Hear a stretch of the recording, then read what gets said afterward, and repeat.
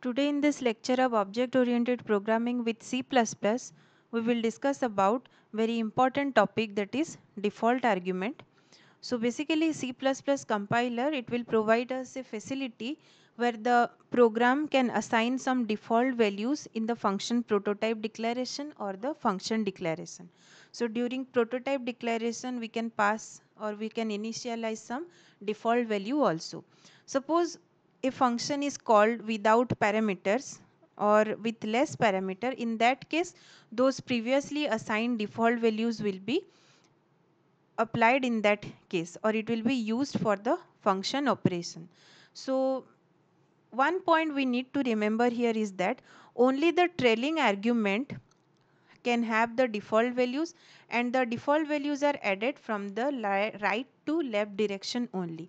If any value is missing, so from the for the missing values from the right to left direction the value will be assigned. And another point we need to uh, we need to remember that in the middle of a particular list it is not possible to provide default value of a particular missing element. The missing element value will be replaced with the right to left direction from the function declaration only. So this is the use of default argument and uh, let's analyze one example where default argument how it is working we can see.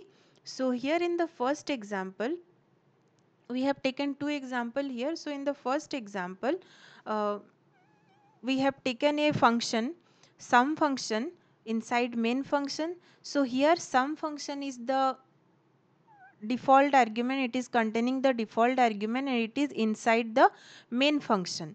So inside main function a value b value c value and d four integer variable are initialized with some default value that is 20 30 60 and 50 and uh, x y z q value are initialized and in cout statement we have called the sum function 1 by 1. So in the first cout statement here sum function is called with all the values that is x, y, z, q. So here no need to assign for default argument because all the value are called no missing values are there. So when this function is called uh, this sum function will be executed and uh, x, y, z, q value that is 2, 3, 4, 10 all these value will be summed up and the output that is 19 will be written. And uh, when the second cout statement is called here you can see x and y value are present whereas z and q value are missing. So for the missing value z and q we will choose the default argument from our uh, default argument list which is already initialized in the function prototype declaration. So for x and y we will take the values that is 2 plus 3 plus for z value we will take 50 for q value we will take 60 because we are taking from right to left direction only from the function prototype declaration. Similarly, when the third cout statement will be called, here you can see all the values are missing and uh, in such case the default values A20, B30, C60 and D50 will be replaced uh, during the function definition and it will result the value that is 160 here. And uh, when the cout statement, fourth cout statement will be executed in such case uh, we have z and q value uh, as here but x and y value are missing. So for z and q value we will take the original value that is 4 and 10. For x and y value again the default two values will be assigned that is 50 plus 60. So it will result 124. So 50 plus 60 it will result 124. So in this way first example uh, will work it will result this particular output when we will execute this program. So here in this case what happened we have declared the default argument before the function definition.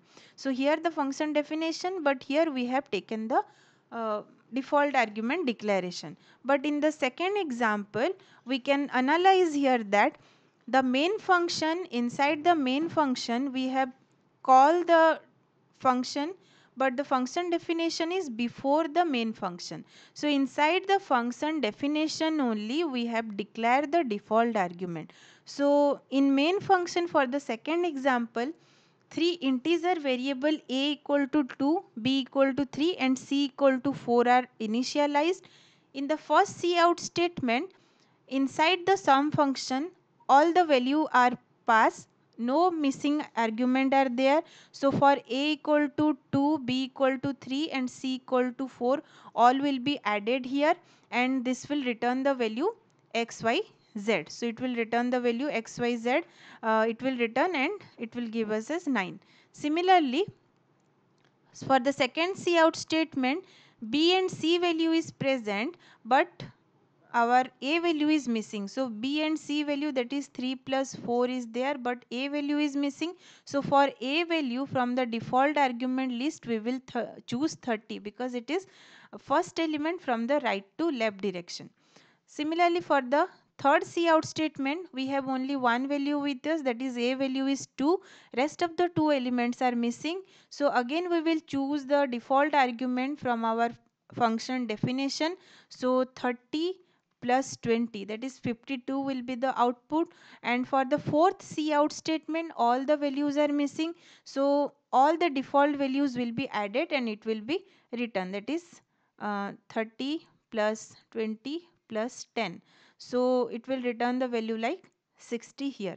So for any missing value or if we are passing uh, or we are calling the function with less number of parameter in such case default values will be assigned from right to left direction only and it will be work for only the trailing elements. So this is all about default argument. It has also application in the programming like in banking sector where there is a fixed number of value will be there. So instead of calling those number that will be taken as a default variable. So this is all about default argument. Thank you.